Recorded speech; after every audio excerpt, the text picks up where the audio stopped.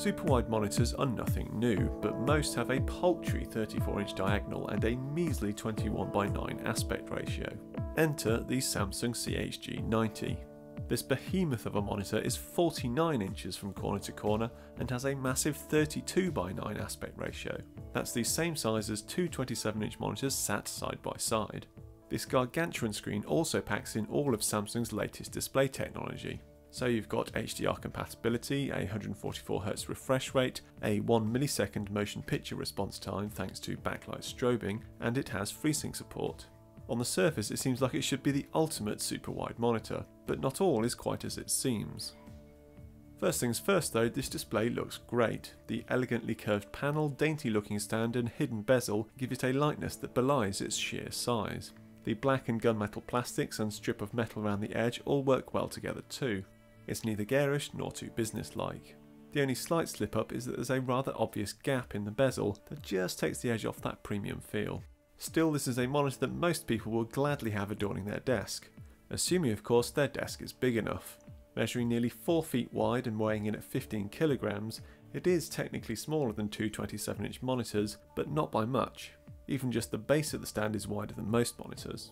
Notably though, because it uses a conventional height adjustment, the whole thing doesn't stick out as far as the CHG70 with its weird pivoting arm adjustment. The stand also offers rotation and tilt adjustment, though understandably pivoting isn't an option. As you'd expect of such a large monitor, it has an internal power supply so there's no external power brick to worry about, plus there's a cover for all the rear I.O. This makes for a tidy cabling setup but makes accessing the ports somewhat inconvenient. In fact, due to the size of this display and the positioning of the ports, even with the cover removed it can be quite a pain to plug things in. The selection of ports though is impressive. You get a full-size DisplayPort 1.4 and a mini DisplayPort 1.4 and two HDMI 2 ports, plus there's a 2-port USB 3 hub. You can also use two inputs at the same time with the picture-by-picture -picture mode, so you can play console games or watch a Blu-ray while you work. Above the ports is the same ring of light as on the CHG70. This provides a nice subtle blue glow that adds a little bit of visual flair to the overall design. It can of course be turned off or the brightness enhanced by removing the decorative ring that partially covers it. Doing so also reveals the screws for attaching the VESA wall mounting point. One other little extra is a headphone holder that flips down from the back of the stand. This is very much a token extra though as it's a bit awkward to open and close and isn't all that conveniently positioned. The CHG90 has the same menu control system as the CHG70, except the main joystick that's used to navigate is now on the underside rather than the back. It still works just as well though, making for quick and intuitive navigation of the equally good menus. Tap it and you can quickly access the input selection, Eye Saver mode and power option, or enter the main menu. Inside this you get a comprehensive selection of colour adjustments and gaming options that ensure you should be able to get things set up just as you like. The only significant thing to note is that this display doesn't have a conventional overdrive setting. Instead, the faster and fastest response time settings increase both the panel overdrive and turn on the backlight strobing at the same time. This isn't too much of a problem except that the backlight strobing doesn't work with FreeSync, so it means you can't experiment with overdrive settings for FreeSync gaming. Alongside the joystick are three preset buttons. These allow you to store and recall several key settings so that at the touch of a button you can switch between a desktop mode where backlight strobing is turned off, brightness is dimmed, etc. Then you can have a setting optimised for FreeSync gaming and one for competitive gaming with backlight strobing. Also note the strobing option disables brightness adjustment and alters the colour. I found I had to make quite severe adjustments to the RGB values to get back to my preferred colour balance. But this is more of an academic observation, as during competitive gaming I didn't particularly notice or care, and I would disable the strobing for any other use. Speaking of all this gaming stuff, we might as well dive right into how this display performs. For a start, the native response time of the VA LCD panel is not too bad. It's certainly not up there with TN gaming displays, but it's a huge improvement over previous VA game displays I've used. Other areas where it excels include input lag, which is very low, and FreeSync also works perfectly, with the frame rate range extending all the way from 48Hz up to 144Hz. The backlight strobing is great too. It successfully masks the slightly lower response time of the panel, making for a sharp and responsive feel that also reduces eye-tracking motion blur. There is some inconsistency in terms of crosstalk from the top to the bottom of the panel, but overall the feature works really well. As for gaming compatibility with the ultra-wide aspect ratio, the vast majority of modern games do support it. There are two things to note though.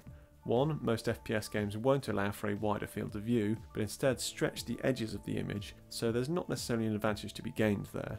Also, the 32x9 aspect ratio is wider than most movies, so you're still getting black bars most of the time, but to the sides rather than above and below. Moving on to general image quality, this display mostly excels. The VA panel provides good overall viewing angles that far surpass any TN display, though can't quite compete with IPS for vertical movement. It also provides a whopping 2800 to 1 native contrast ratio, which really brings a depth and vibrancy to the image. Samsung also calibrates every monitor before it leaves the factory, and sure enough it arrives looking very close to perfect. To get the best from it I did alter the colour balance slightly, but this display still far surpasses the vast majority of other gaming monitors for out-of-the-box image quality. The only cause for concern is the slightly extended colour gamut, which sees this display covering 125% of the sRGB colour space. As a result, colours can sometimes look a little oversaturated, but it's largely only something to worry about if you're working in professional image manipulation. Instead, the biggest concern when it comes to image quality is this display's resolution. You see, despite being the size of two 27-inch displays, its resolution is only that of two 24-inch displays. This means that at a normal viewing distance of around 50 centimeters, it looks rather pixelated.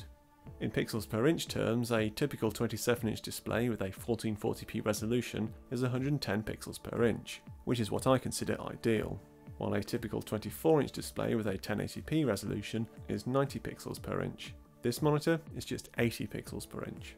Now, to a certain extent, the sheer size of the CHG90 alleviates this, as you may want to sit a little further back from it anyway.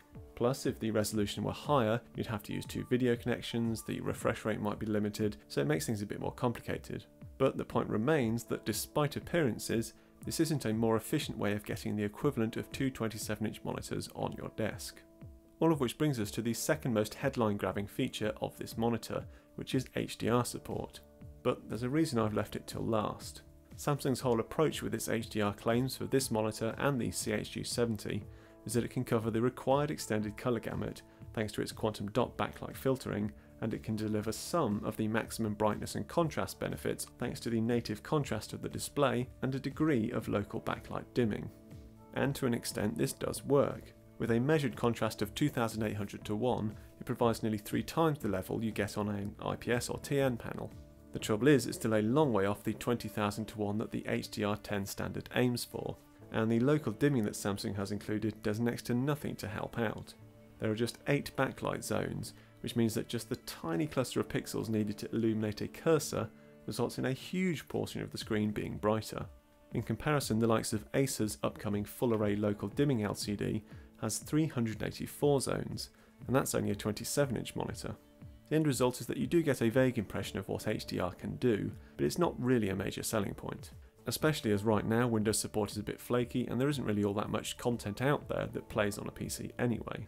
In conclusion then, this is still a great monitor. For a gaming display its image quality is fantastic right out of the box, and the sheer size and spectacle of it is fun in and of itself.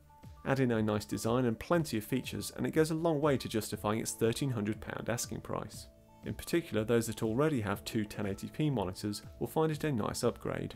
However, if you're already rocking two 27 inch monitors, then you may find the downgrade in resolution to be too much, and it's a shame the HDR isn't more compelling.